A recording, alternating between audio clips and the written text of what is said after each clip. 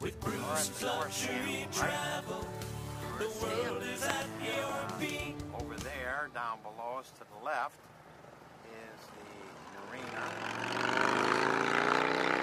One of many along the uh, waterway. How many of these places are around here? I think there are 14 TVA dams in the area. 14 dams in the area. Wow. It's a beautiful day. And Sandy said that the uh, water level is low because there hasn't been, so you can see the, the tannish banks. That's where the water usually goes up to.